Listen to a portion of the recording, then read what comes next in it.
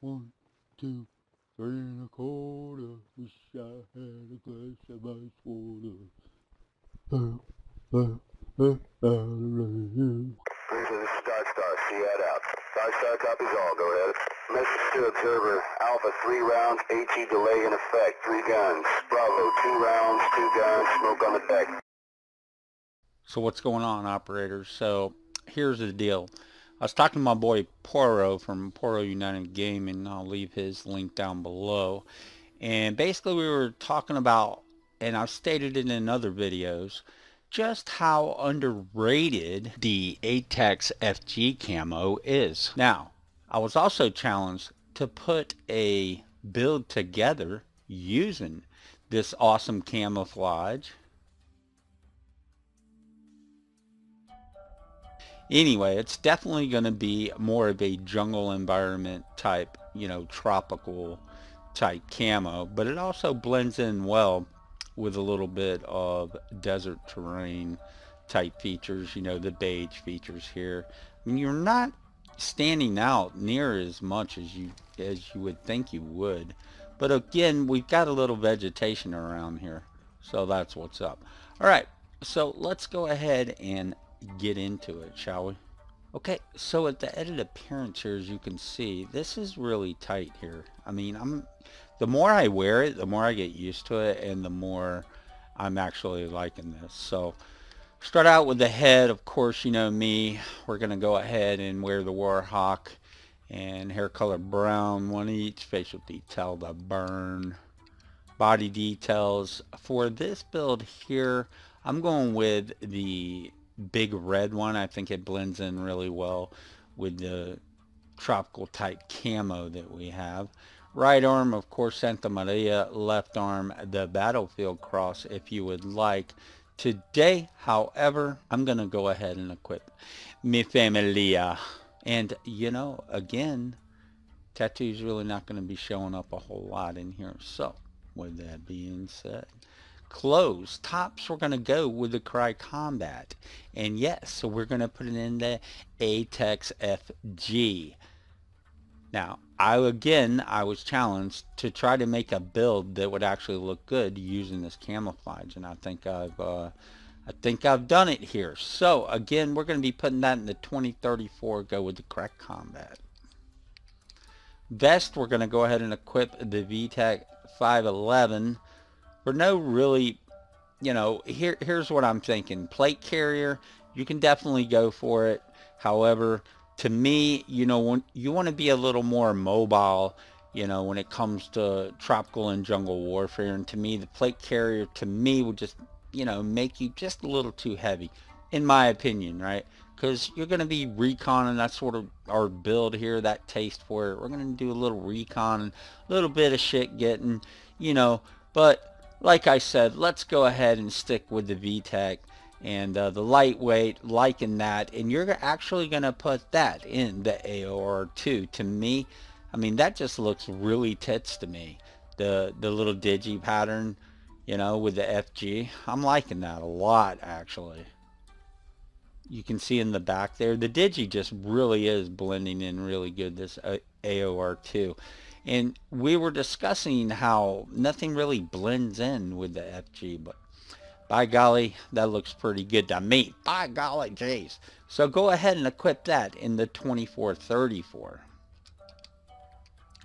Pants, of course, we're going to go with the Crye Combat as well, putting that in the 2034 FG. Again, you know, just looking at this camo, you're like, man, how, where would you even, like, wear this type of camo to? But you know, jungle with with the little bit of the beige, you know, type of environment to it blends in really well. That's why I've always said this is the most underrated camo in this game. So go ahead, equip the Crye Combat. Not really going to hate you a whole lot if you want to wear the Cargo C's with this build. So either one really. You can either wear the Cargo C or the Crye Combat. It's really up to you. You know, here's the thing though. I think the Cargo C's actually would probably maybe blend in just a little better actually than I would say the Crye Combat just because you've got the grayness in the uh, in the knees there right above the knees. That's what she said. That's what she said. But anyway, you can go with either one, my peeps. I'm going with the Crye Combat because they're so goddamn comfortable. Footwear, we're going to go ahead and keep it real with the hiking boots. Go ahead and throw those in the black. Ghillie suits, obviously none. Accessories, eyewear, I'm going with the Oakley SI Ballistic M-Frame. I'm going to go ahead and put those in the 6.6 Multicam Clear. Again, you know, I don't think under the canopies that wearing dark lenses would really work out very well for you. And again, depending on, you know, the mission and the environment you're going to be in would also depend on even things up to like what your eyeglass wear would be, right? Are you going to go with like a bright orange? Will it be more of like an evening type uh, situation that you would be out, you know, in and stuff like that. So go ahead. I think this looks really good, especially with this camo. And uh, go ahead and put it in the 6.6 clear. Now, again, you know, this is all optional, guys. But again, I feel like under the canopy of, you know, the jungle environment that you will definitely want something clear and you definitely want to wear some eyewear. That's the thing that people don't, you know, you want to wear, uh, you know, eyewear for majority of reasons. However, you also want to make sure that it's it's not really going to give your position away. And I think these uh, these work out real, real well with this build. So with that being said, go ahead. Oakley SI, we're going to put those in the 6.6 multicam. Go ahead and throw the shemagh on, you know, a lot of mosquitoes and such. We want to uh, keep our neck covered for that reason. Plus, in addition, it also helps out with the camouflage scheme we got going. Go ahead and equip that in the 2-2. Headwear. Now, I was sort of, you know, I wanted to hit the boonie cap on this build. So, I'm not really going to hate you if you want to wear the boonie cap. Go ahead and equip that in the OD, or you can go ahead and throw the A-TACS FG. But, uh, you know, for me, I don't know, something about it, especially when you guys go out in the field and, and see the boonie. I mean, it's pretty hua, you know, it's, it's good and you definitely probably would wear a boonie cap just to keep, again, the mosquitoes and such off you. Um, however, for this build today, I just had to go with the backwards baseball cap. I mean, it just looks, it, it looks really hua to me and to me, that's what the operator would choose instead of the jungle, instead of the boonie cap. I was about to say the jungle cap, but anyway. So go ahead, throw that backwards baseball cap on, be a hood while you're doing it, give off a lot of attitude, and go ahead and put that in the 2233 olive drab. Headsets, of course, we're going to go with the earpiece. We're going to just go ahead, keep it simple in the black. Handwear. Who else besides me loves the shit out of these new sniper gloves? Ah, I mean, let me tell you, it's like they were made perfect for this build, but we're also going to be able to use that in other builds. And I just want to say that these things look really, really, really fantastic. They did a fantastic job on it. So go ahead and put those in your 5.5 sandstone. And again, I can't say enough about how glad I am that we got these actually. Okay, we're not going to be going with rucksacks today, operators. If you did, however, I would suggest you just go ahead and putting the prick 150 on it and dressing that out as well as the CamelBak you're thinking damn matrix sandstone. But trust me if you look around again it keeps with the light and darkness of our sleeves you know a little bit of silhouetted. I think the sandstone's the perfect uh, the perfect fit for this. And again with the ANPRC 150 basically the the prick 150 you're going to want to go ahead and throw that in the sandstone as well. And it just I tell you including you know your front of your LCE there I mean it just everything to me fits in perfect. Uh, again I was told and you can't really match anything up with the camo and you know I I'm having to you know disagree on that. I mean obviously you're not going to be wearing this camo you know, out in where there's no vegetation. That doesn't make any sense at all. But yeah, I'm thinking that the sandstone really goes well with this as well as, uh, you know, as the Digi that we got up front. So you know, let me know what you think in the comments and such because I do uh, appreciate most, I would say 90% of my comments I really appreciate and the rest of them, you know, go fuck off because I, you know, as you guys know, I definitely, you know, I'm ranting a little bit right now, but I definitely uh, pay attention to my comments. You know, I'm I'm pretty active on that part. So if you do get, you know, some hate out there, but that's not what my channel is about, man. My channel is about warriors and just fellowship of gaming. So if you ain't aboard with that, maybe I do piss you off with some of the shit that I say, but uh, you know, it's not really on purpose. You know what I mean? I can't help it that I feel that the United States military is the best in the world, as I'm sure that a lot of you guys do. And you should feel like that about your, your own country's military, to be honest. I mean, I, you know, I don't know how else to put it out than that. But, you know, there's a, there's a camaraderie uh, as far as, you know, talking shit about each other's branches and each other's, uh, you know, country service. But then there's just some downright mean ass bullshit ass talk. So, you know, like I said, you know, 90% of you guys' comments I really do love and I actually do learn stuff and knowledge is power, like I always say. But uh, as far as that other 10%, you know, you can uh, you can pretty much uh, kiss my ass, you know what I mean? And um, and just you know i'm just gonna try not to let it get me down. I'm gonna go forward with what i feel like has become a pretty cool channel in uh, in the military community anyway. So with that being said uh, that little rant over go ahead equip the CamelBak put it in the 1333 or if you want to the prick 150 you know either one would be good to go and go ahead and slap that in the 1333 sandstone it. That being said, I'm I'm thinking this is looking really nice. You guys saw it. I'll go ahead and, and run around with it. And let's go ahead and get into weapons. Okay, getting on with the weapons operators. Of course, what we will be carrying for our primary, again, this is a mercenary build, my personal Merc build with the FG camo. So with that being said, if you know me and you've been following me for a bit now, you know this is the absolute best weapon to me in the world. And basically, if I had to choose my top three weapons to carry in a firefight, it would be one M4A1 without question. Two, the Galil. That's right, the Galil. I've carried it. I've fired it before. I actually carried it for about two months, my day-to-day, -day, and I love the Galil.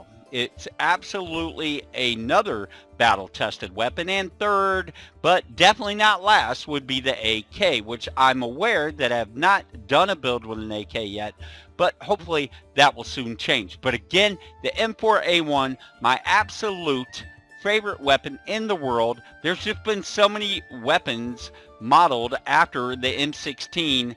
There's a reason behind that, my peeps, is all I'm trying to say. So, of course, we'll be carrying the M4A1 for this build. Let's go ahead and load it out. Paint presets, go ahead, put it in the dark earth. For either one of these weapons, the black would work as well for either one, our primary or our secondary. However, for this build, I'm going to keep it in the Dark Earth. So go ahead and equip it with the Dark Earth to stay along with my build. Parts, stock, bud stock, we're going to be putting that in the 2.5 black. Scope, again, this is pretty much optional. But if you want to stay with my build, go ahead and equip the digital scope or the ACOG.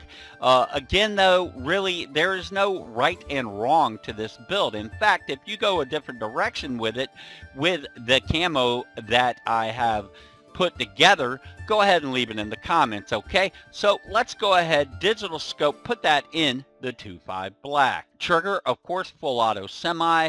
Magazine, again, I just can't preach it enough. Not only is the M4A1 the baddest motherfucking weapon ever, you can also carry 50 rounds in it just like in real life. They definitely have a 50 round mag. And let me tell you something. People think, oh, it'll stovepipe all the time. You're going to have weapons malfunctions all the time. And quite contrary, it's actually a very good magazine for an extended, especially because of the rounds that you can put into it. That's 50 rounds, man. One in the chamber, you're carrying 51 rounds into combat. And let me tell you, the AK, they have a drum that you can carry 75 rounds. But let me tell you, every fifth mother shot, it's malfunctioning on you. So again, not a big fan of the AK drum fed, which is 75 rounds. I'd much rather have the extended magazine with the 50 on the M4. So enough about that. Let's go ahead and put that in the 2.5 black. Underbarrel, why wouldn't me? On the seventh day, God created rest and the M203. So let's go. Let's take it down range and give some of them tangos some HE freaking dirt nap. So go ahead, equip that, that's right, in the 1.5 Dark Earth. Rail, we're going to keep it clean. We'll be going with the rail cover in the 2.5 Black. Barrel, we're going to keep it with the standard barrel. Uh, the long barrel, I just, you know, you just lose too much handling off that. And what do you gain? A little range? Okay, that's fine and dandy. But again, this is, as stated, sort of a recon uh, counter terrorism build, hostage rescue build, if you will. So we're going to go ahead and keep that in the standard, and we're going to switch it up and put it in the khaki for this build. Muzzle, we'll be equipping the stock muzzle in the black. Make sure that your suppressor is also in the black, but again, what do I always say? Equip the suppressor as needed on the battlefield. And we'll be putting that in the 2.5 black. And that, my friends, is the build of our primary today.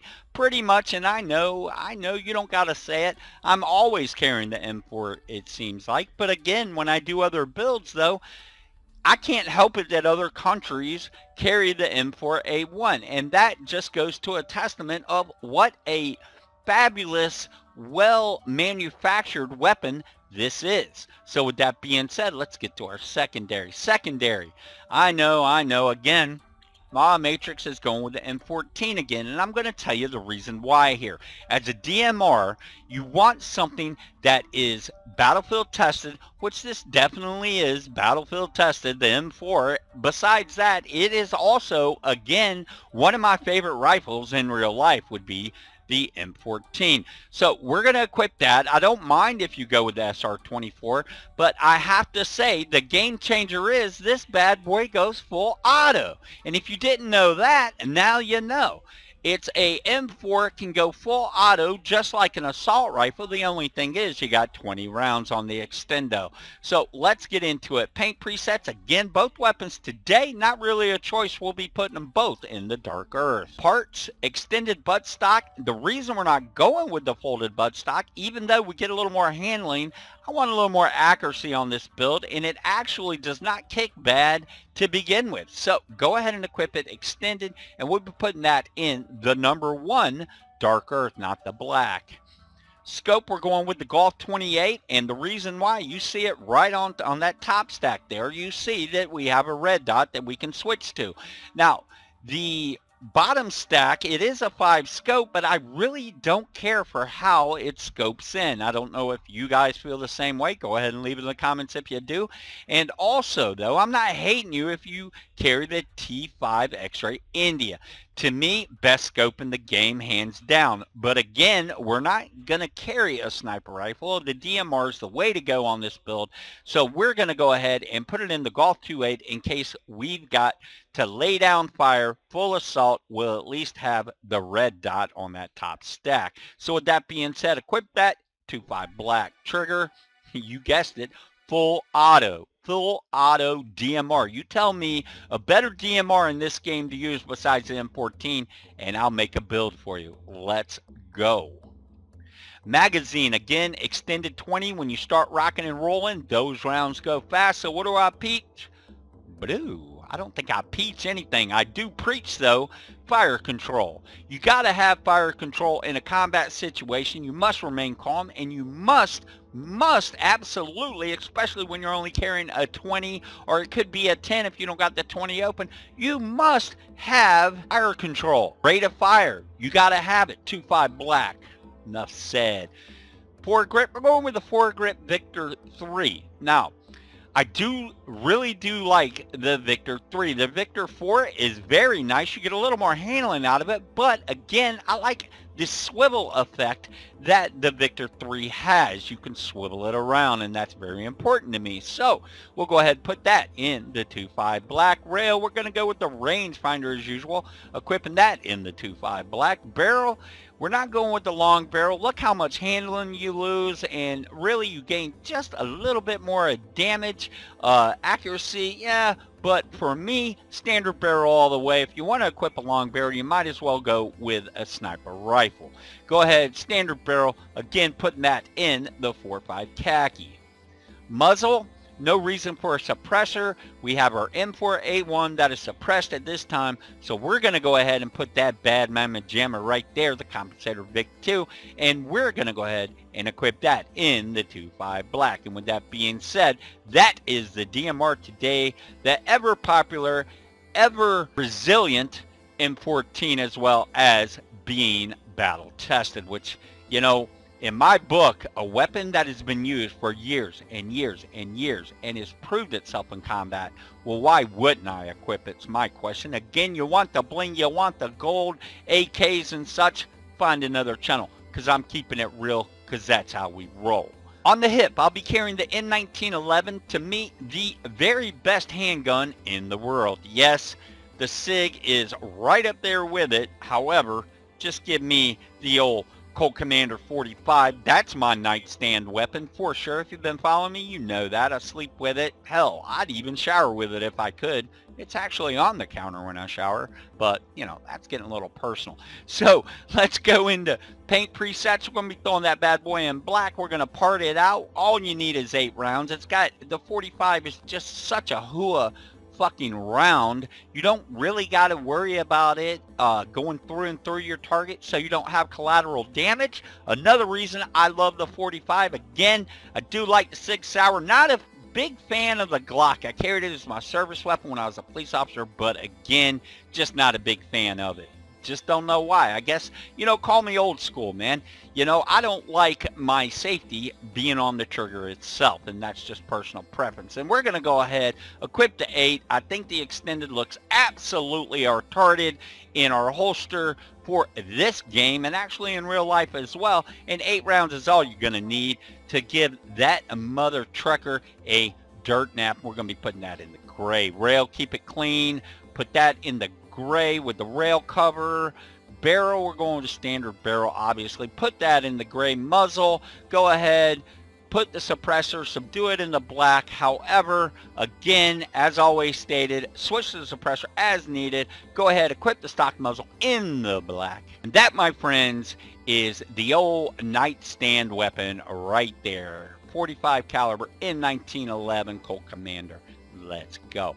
Of course, everything else would be optional. I would recommend only having two medic drones in a four-man team. The other two can switch it up on the drone. And again, if you play with me, I like keeping the role play alive. So even if you got all these items unlocked, you can only carry two until they get the flare gun working worth a crap where you can actually see it when your team member puts it off up in the air or whatnot, I go with the diversion lure because it does actually mark you with a beacon for a few seconds. And to me, it's just, uh, it's more powerful for one, and you can actually see it on the battlefield than the flare gun. So I will be using the diversion lure and, of course, my frag grenade. I love my frag grenades. I love anything that goes boom. So with that being said, today that is the build. I hope you enjoyed it. If you're new around here, make sure you subscribe. It certainly helped me out. It helped the channel out all around. So if you haven't subscribed, please subscribe. I'd appreciate it, and I definitely appreciate you. Hope today was amazing. Hope tomorrow's amazing. I hope yesterday was amazing. And you know what to do. Go ahead and snipe that like, snipe that sub, Operator 41, cuz that's how we roll.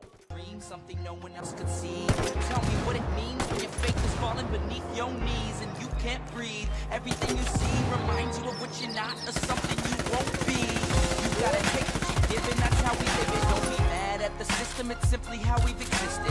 I hear a lot of people talking like they politicians and choose to be an accountant because it's safe in the business. Not because they wanna do it, just because they heard it pays. And who the fuck wants to be poor knowing that's how we've been raised? Society is getting heavy, I can feel the weight, the pressure of success It's like a hundred million pounds of shade. And that's the reason I'm staying up late, trying to find a way to escape the stereo.